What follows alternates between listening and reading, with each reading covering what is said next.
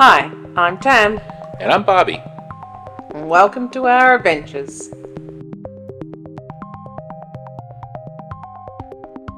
Good morning. It's day 239 and we are still in Stockholm, Sweden. I've got an appointment to get my nails done today and Tam is going to do some free range wandering. That's our plans. After the Ice Age around 8000 BCE, there were already many people living in what is today the Stockholm area, but as temperatures dropped, inhabitants moved south. Thousands of years later, as the ground thawed, the climate became tolerable and the lands became fertile. People began to migrate back to the north. At the intersection of the Baltic Sea and Lake Mälaren is an archipelago site where the old town of Stockholm was first built from about 1000 CE by Vikings. It had a positive trade impact on the area because of the trade routes they created. Stockholm's location appears in Norse sagas such as Agnefit and Heimskringla in connection with the legendary king Agni. Birka, located near Stockholm, was one of Sweden's major trade centers during the Viking Age, and its restored remains are one of Stockholm County's most visited sites. The earliest written mention of the name Stockholm dates from 1252, by which time the mines in Bergslagen made it an important site in the iron trade. The first part of the name stock means log in Swedish, though it also may be connected to an old German word meaning fortification. The second part, holm, means inlet. Good morning. It is day 240 of 274 and we are in Visby, Sweden today. We'll get off and see what's here. That's our plan. Nothing big. Right, we're off the ship in Visby, Sweden. Stinky fish.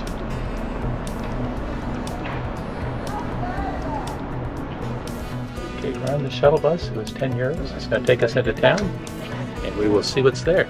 We are walking to the botanical gardens in Visby, Sweden along the beach road. There's the beach. Here's where we are. Door is open. Tam is exploring. I don't know if I'm going to go in there because it looks really low.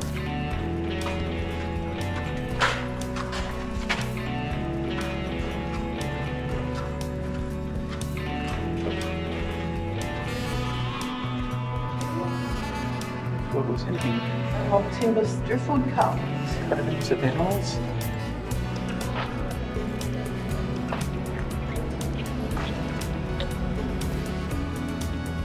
Lovely botanical garden.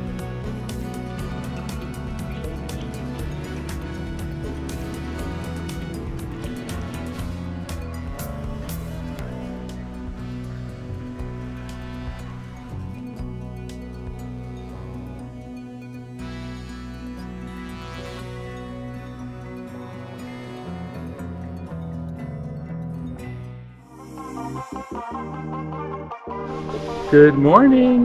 It's day 241 and we are in an unpronounceable place, Klaipėda, Lithuania. Alright, We're off the ship in Klaipėda, Lithuania for our short excursion to go to see a Russian nuclear missile site and a national park and have some Lithuanian food and a beer in a pub. That's our day today. First stop, we're walking to an overlight, over, overlook, overlook of, of a lake, a lake overlook. We do not have artificial irrigation. We do trust and we rely only on the natural rain.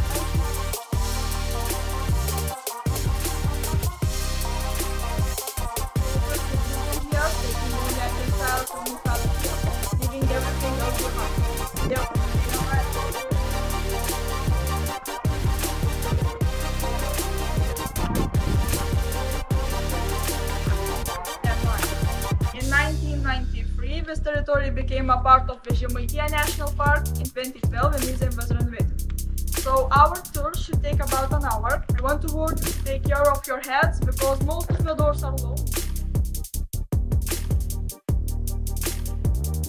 A symbol of the Common Cold War. 1959, the era of missile production. That type of missiles was this base, R-12 or SS-4 Sandal. In that time, this missile was the most powerful. At the beginning of 1962, Soviet Union leader Nikita Khrushchev received some bad news that Americans had deployed 15 nuclear missiles in Turkey that could destroy Moscow, Kiev, Minsk, and other major cities within minutes.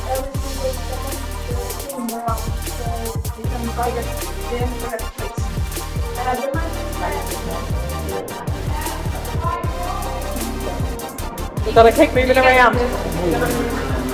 We're sliding.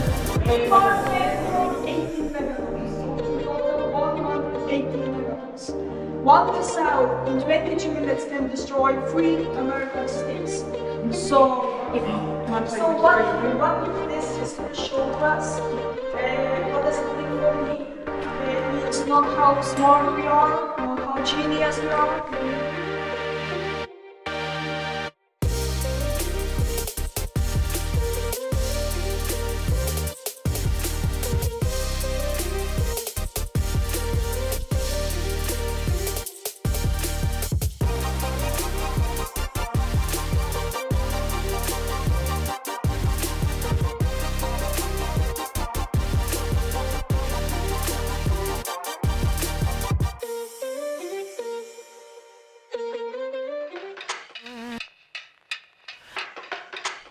Good morning. It is day 242 and we are in Rønne, Denmark, or Roni. I don't know how to say it. Uh, yeah, that's where we are today. All right, we're off the ship in Rønne, Denmark, heading towards the free shuttle into town. All right, shuttle bus stopped us off at the foot of that hill there. Doesn't look like a big hill, but I am resting for a little bit. Tam's doing a wander. To see what's here.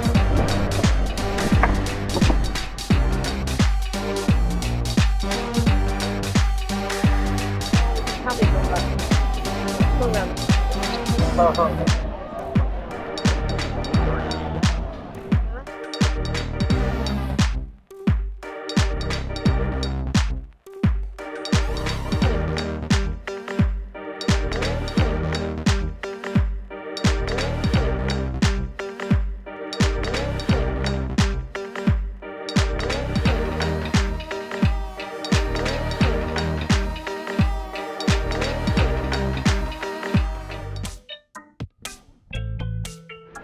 Good morning. It is day 243 of 274, and we are in Kiel, Germany. It's a overcast day. It's supposed to rain. Um, we're going to go shopping. Primark, get some clothes, and uh, also look for some fruit candy, because this is probably the last cheap place we'll be. And we'll also use some of our euros. So that's our plan today. All right, we're off the ship in Kiel, Germany. We're sitting on a park bench trying to call an Uber to go to Primark. That's what we're doing. But it's taking a little while, so we're just kind of sitting. Porque no te creas tú que avión lo All right, mission accomplished. We got uh, clothes we needed, underwear and stuff.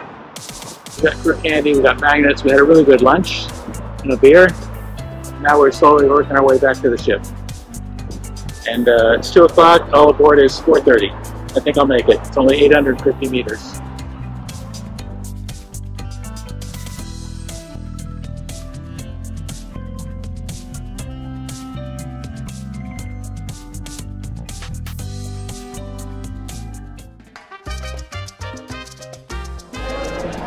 Good morning. It is day 244 up to 74.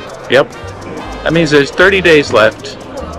We're in Copenhagen and not sure what we're going to do. I'll probably stay on board. Let's see what Tam wants to do. All right, we're off the ship in Copenhagen to go through immigration.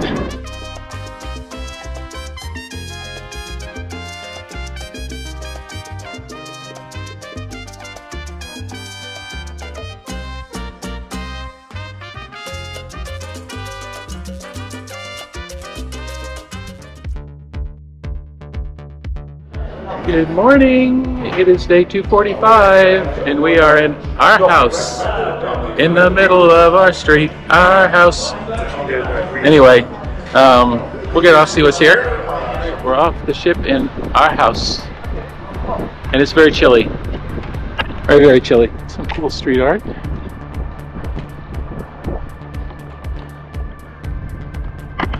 So in the shop area, we got magnets. We got some new earrings and a pretty little ring. And we got some Danish cornbread, I guess. It's really good. So we've wandered to the mall. Tam is looking for some more crew candy. I went in to look for a couple of, I'm looking for a strapless bra, um, but they don't seem to have them here. So um, we're probably going to get something to eat and then um, Yeah. yeah, head back to the ship. I look, but.